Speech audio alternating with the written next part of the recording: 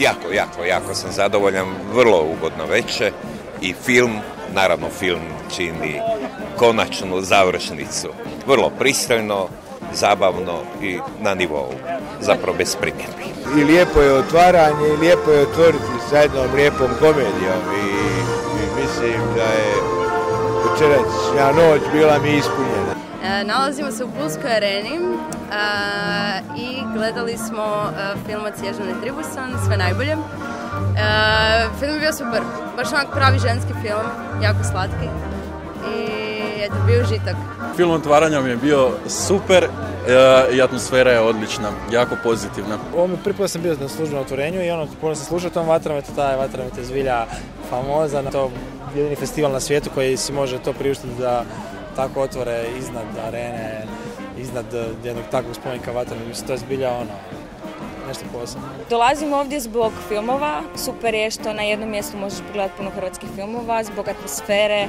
U tak jednom odličnom prostoru možeš pogledati ono. mislim, to je predivna stvar za vidjeti toliko publike i taj vatromet na otvaranju, to je ono, jedan poseban doživljaj, baš je on, film pod zvijezdama.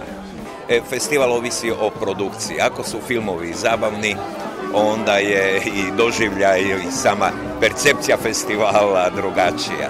A mislim da su ove godine filmovi manje opterećeni nekakvim dramama i tak dalje, da je jedna dosta ležerna produkcija. Mislim da će program biti zanimljivi, a to znači da će i publika biti zadovoljna.